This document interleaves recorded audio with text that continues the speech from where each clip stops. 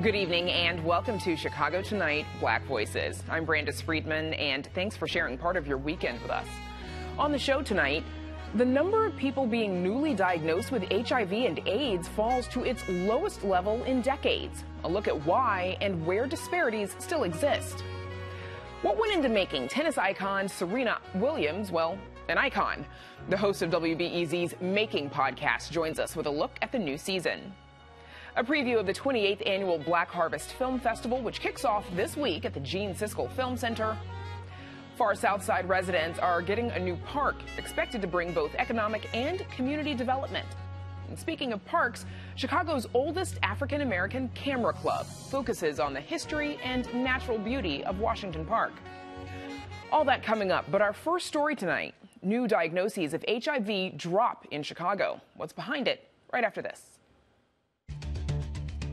Chicago Tonight, Black Voices, is made possible in part by Fifth Third Bank and by the support of these donors.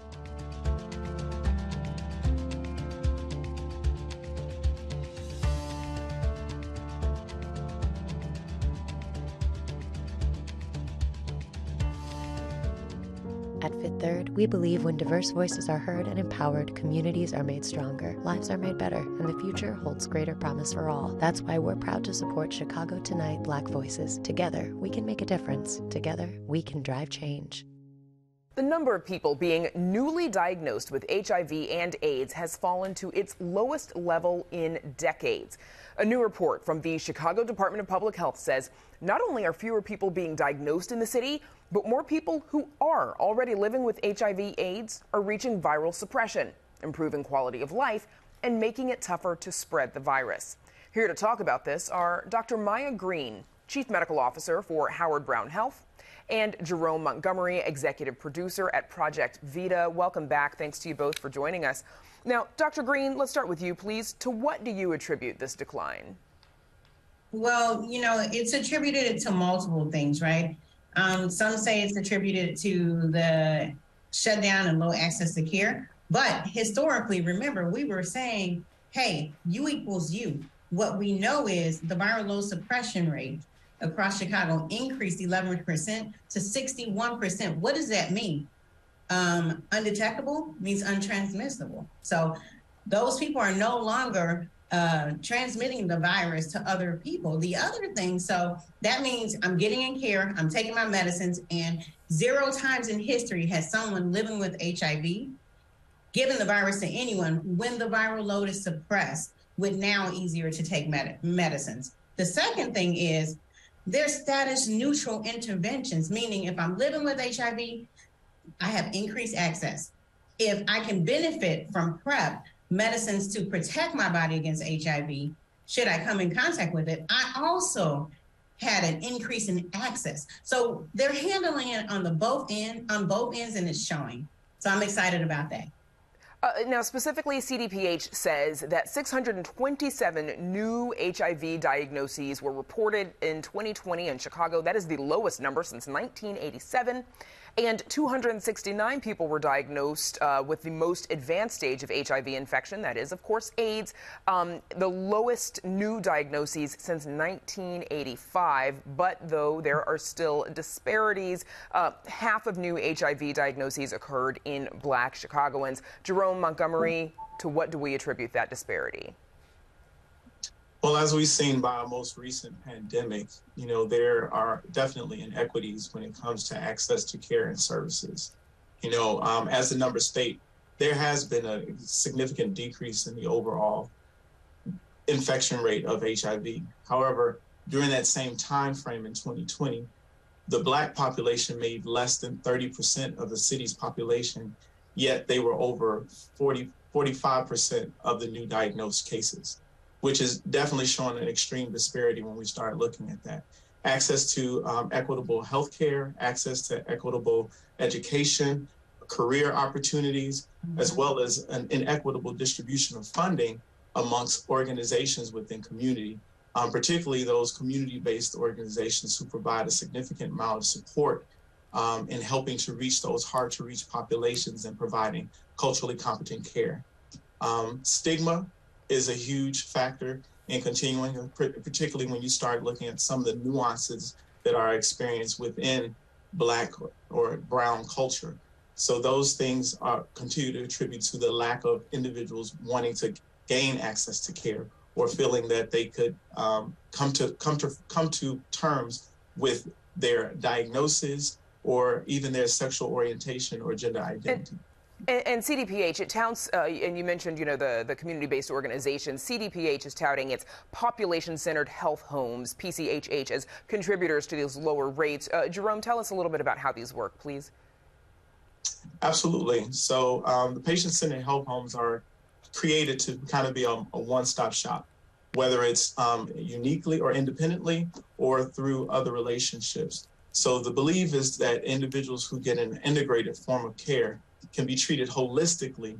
And therefore, it's not just about their um, physical diagnosis, but also it looks internally and treats an individual holistically.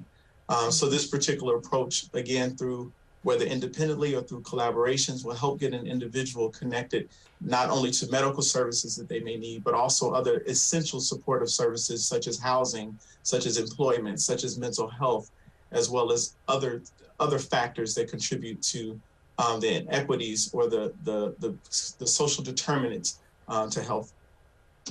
Uh, so, revisiting something that you mentioned earlier, Dr. Green, the report also shows an 11% increase in people who've achieved viral suppression from 2019 to 2020. Uh, but of course, the racial disparities still exist there, with 55% of black Chicagoans with HIV/AIDS achieving viral suppression, compared to 71% of white Chicagoans uh, living with HIV/AIDS achieving viral suppression. Uh, we asked CDPH Commissioner Dr. Allison Arwady about this just last week. Here she is.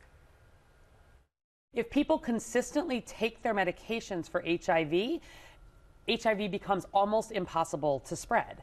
And so, uh, whereas, you know, across the whole country, only, only, a little more than half of people living with HIV are consistently taking their meds and what's called virally suppressed, people attached to our health homes in Chicago, more than 90% of them are virally suppressed. And when someone is virally suppressed, they're not going to get significantly sick, but more importantly, they're unable to spread HIV. And of course, that medication that, uh, that Dr. Arwady is referring to there is PrEP, uh, pre-exposure prophylaxis. Uh, Dr. Green, uh, we also, you know, heard about this disparity, though. What can be done to bridge that?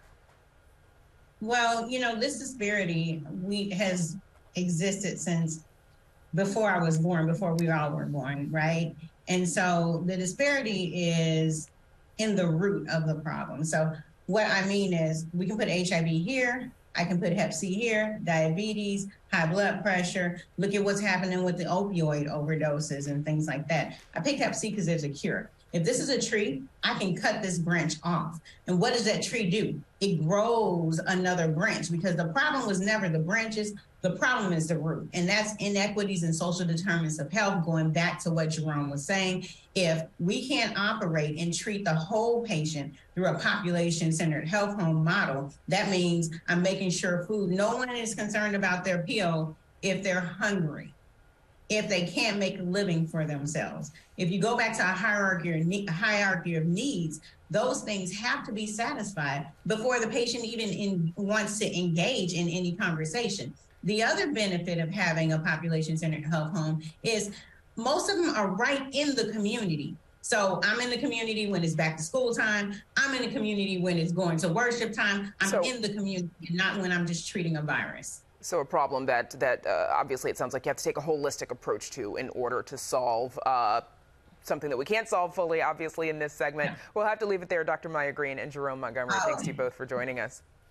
All right, thank, thank you for having us. Have a good one. And we're back with more Chicago Tonight Black Voices right after this.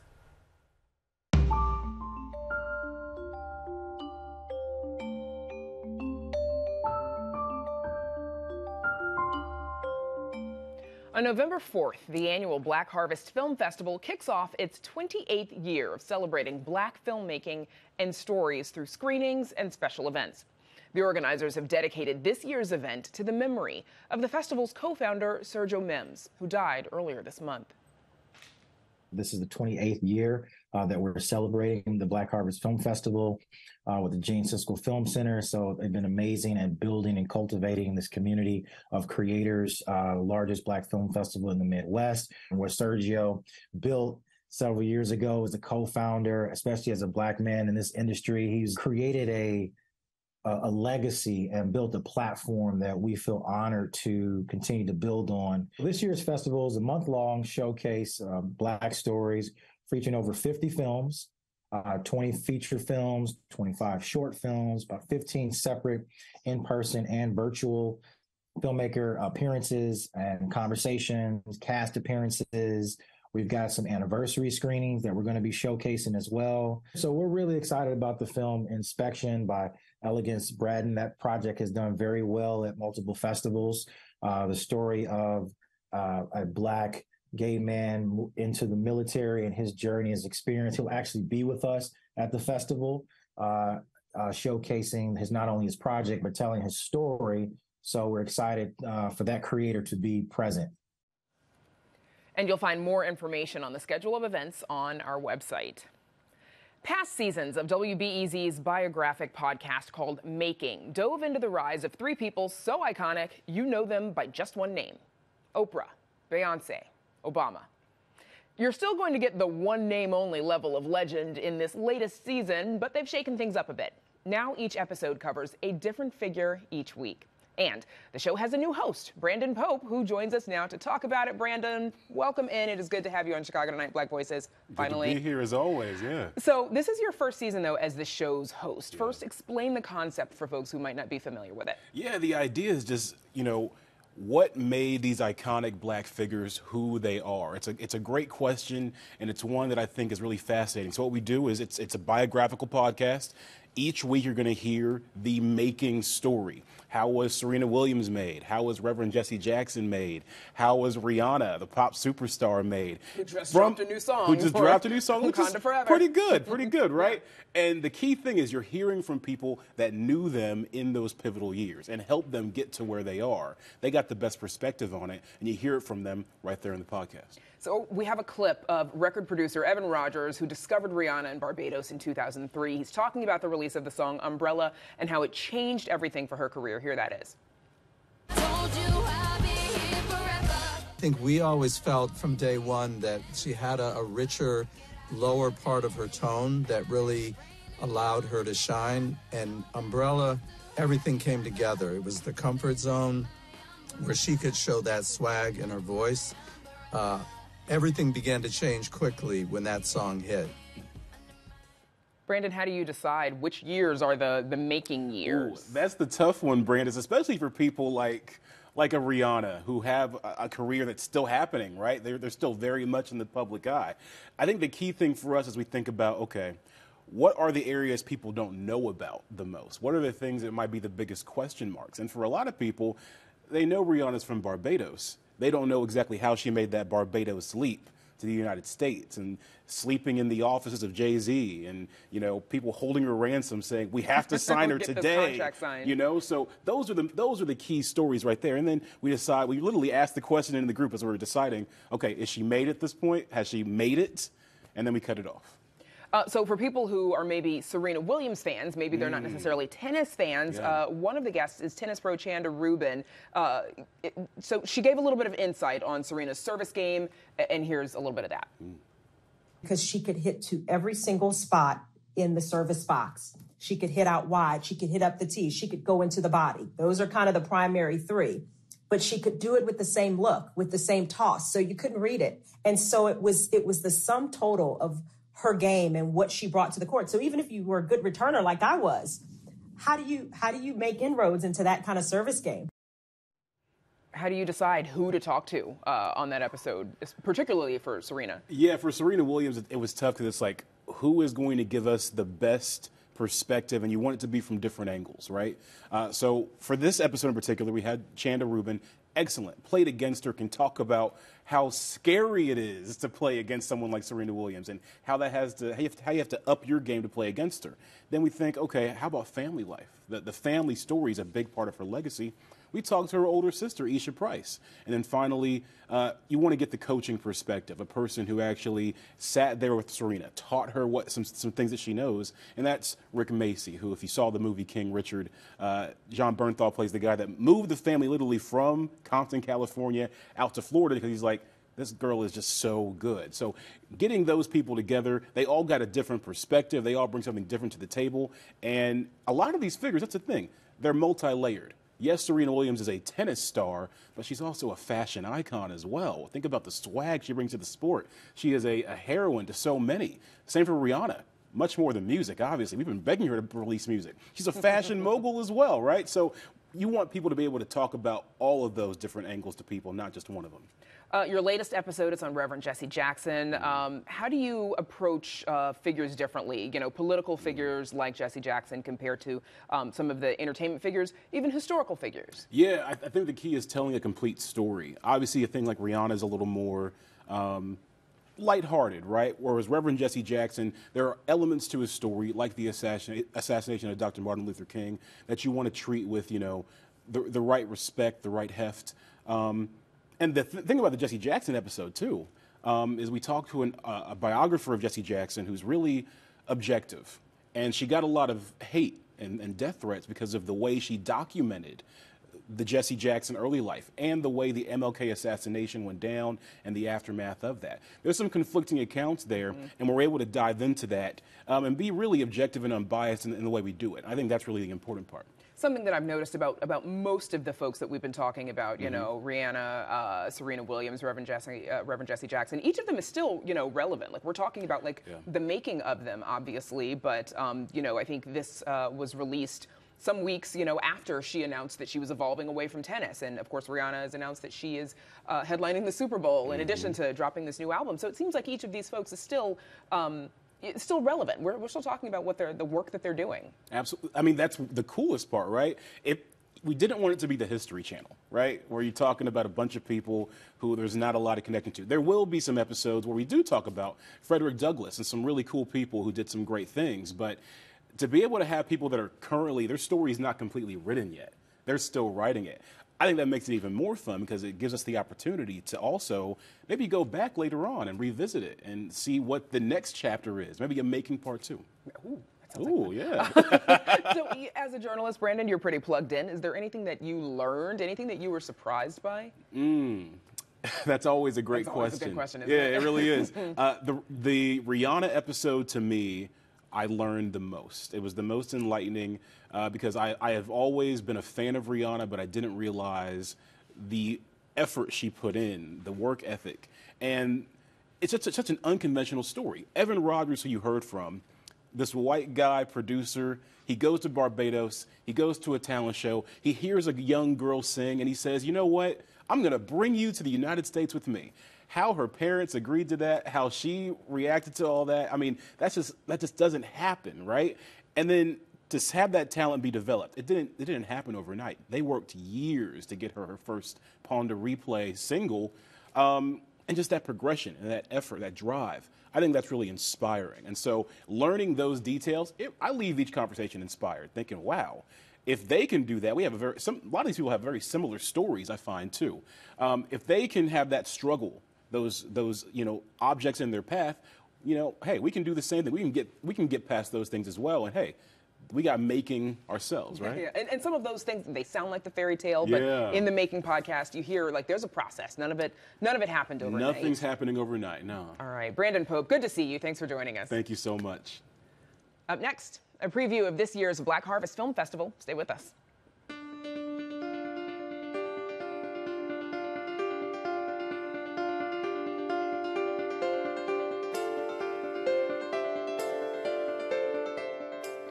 The Roseland community is getting a public park for the first time in 50 years, thanks in part to a grant from the Chicago Recovery Plan.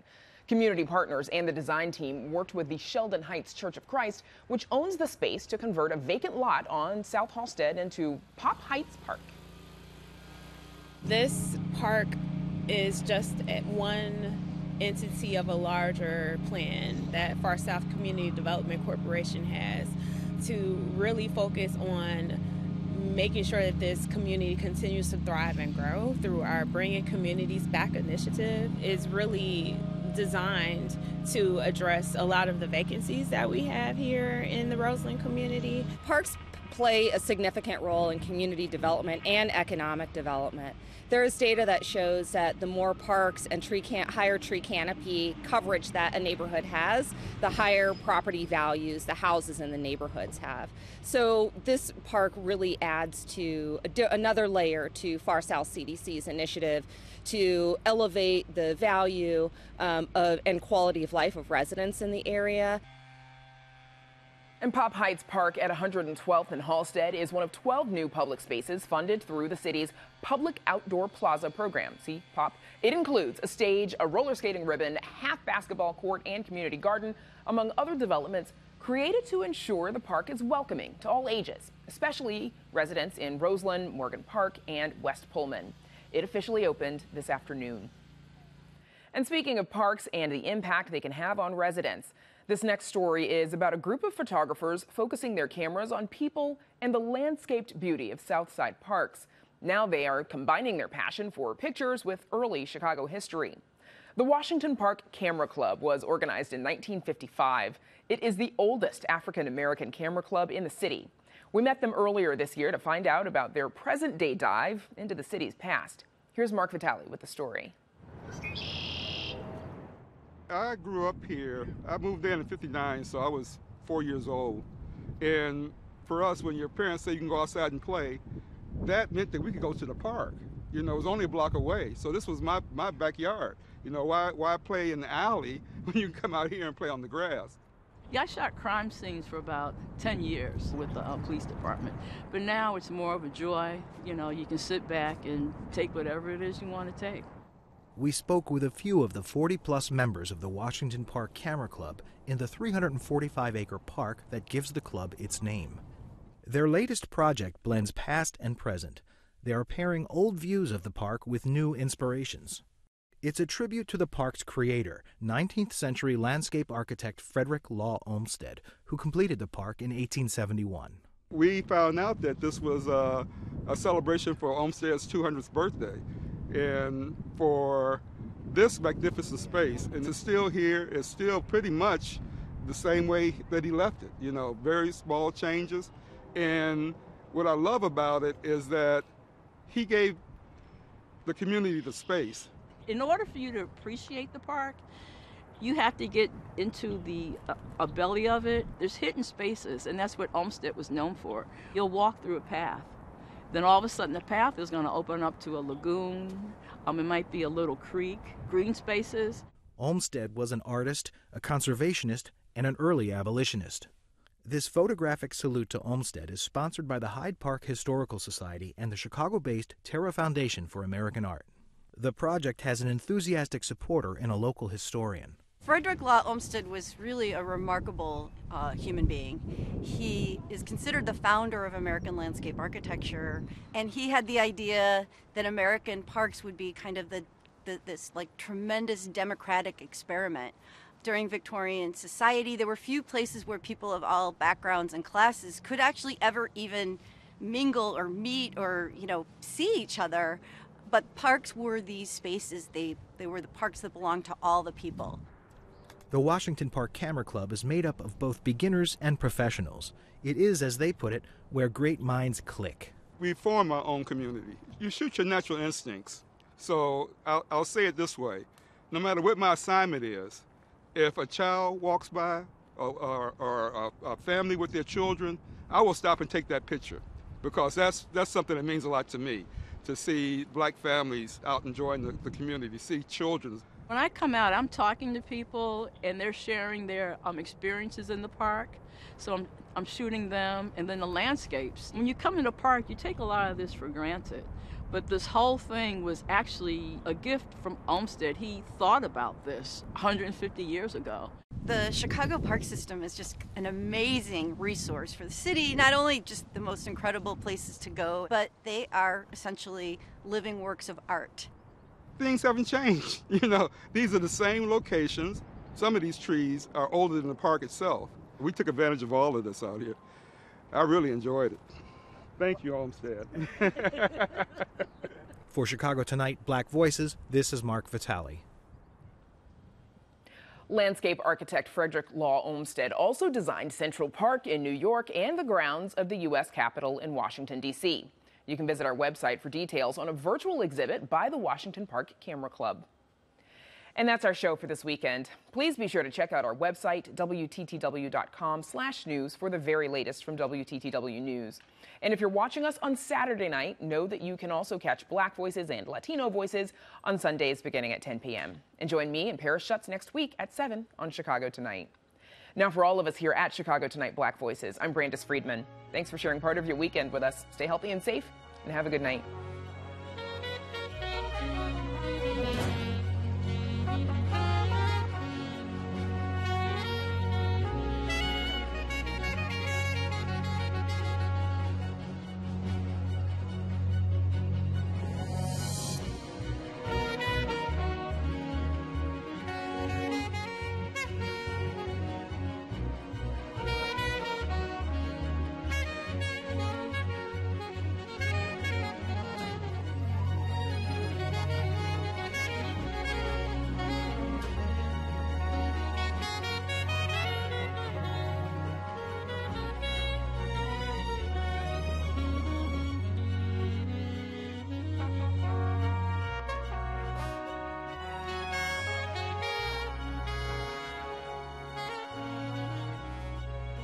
Closed captioning is made possible by Robert A. Clifford and Clifford Law Offices, a Chicago personal injury and wrongful death firm that is proud of its partners named Illinois leading lawyers by the Law Bulletin Publishing Company of Chicago.